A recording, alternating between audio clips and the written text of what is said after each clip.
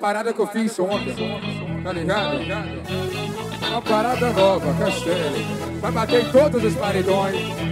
Varrendo o paredão. RB paredão, grandão, paredão, Moraes, paredão. Eu sou Helder Putaria, eu vou te fazer uma mágica. Eu sou Helder Putaria, eu vou te fazer uma mágica. Abracadabra, abracadabra, abracadabra, abracadabra, abra tabaca, abra tabaca, abra tabaca, abra tabaca, abra tabaca, abra tabaca, abra tabaca, abra tabaca.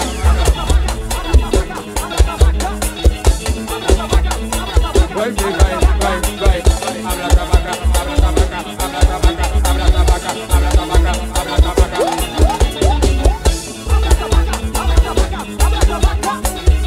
Dá a cabeça que eu vou ensinar.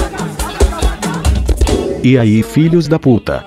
O Gols da Zoeira de hoje veio com a música mágica da putaria, em homenagem ao hat-trick do menino Ney. Pra quem não é poliglota como eu, hat-trick em inglês significa truque do chapéu.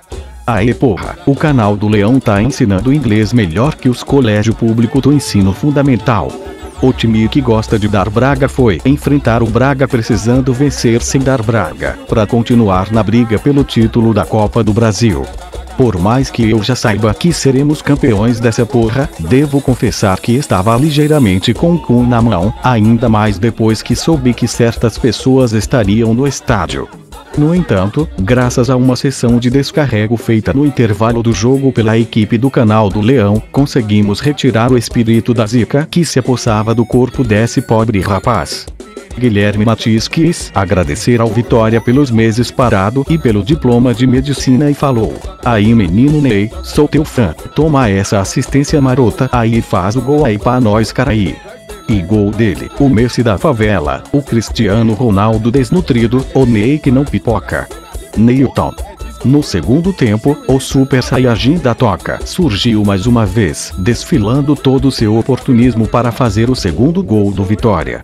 E também o terceiro gol do Vitória. Puta que pariu, estou sabendo que na Europa já estão falando que esse tal de Neymar é o novo Neilton. Acho que essa imprensa europeia está exagerando um pouco, afinal, Neymar ainda precisa evoluir muito para chegar aos pés do Ney original. Vitória venceu com Dodô no estádio e sem levar gols. Se isso não for o sinal do fim do mundo, eu não sei mais o que pode ser. Agora, é só esperar os próximos adversários que iremos eliminar. Não vou me empolgar dizendo que estou aguardando a final contra o Palmeiras, afinal, não sabemos se o Palmeiras irá chegar até lá. Esse foi o Gols da Zoeira de hoje. Vá deixando seu like e aproveita para se inscrever em nosso novo canal que amanhã já tem vídeo novo nessa porra. Até a próxima.